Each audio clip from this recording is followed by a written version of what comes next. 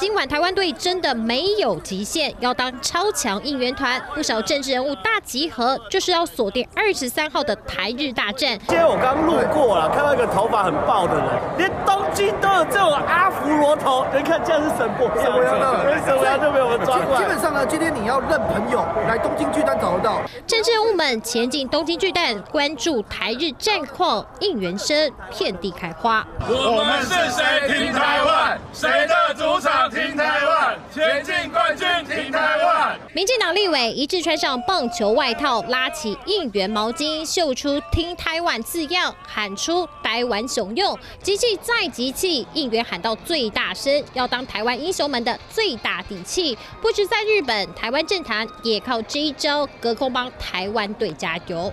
日本的鸡排也要吃。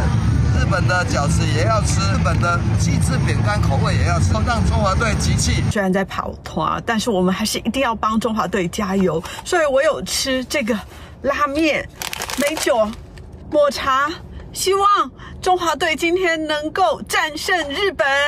棒球当前，谁管你政治攻防？不管人在不在日本应援，蓝绿政治人物超团结，找出各种日本食物，就是要吃爆日本。不过前一天有人发现东京巨蛋场内有球迷好心在发国旗，没想到摊开来看，却发现上头贴着徐巧芯贴纸，也被酸，这样也要蹭。不过求证徐巧芯办公室表示，这是先前发的国旗，放在各。各个礼拜，可能是有民众好心带到日本发送，但无论如何，和应援台湾英雄，朝野摆一边，全力为台湾队进军冠军赛来应援。三立新闻黄信全马约文台北报道。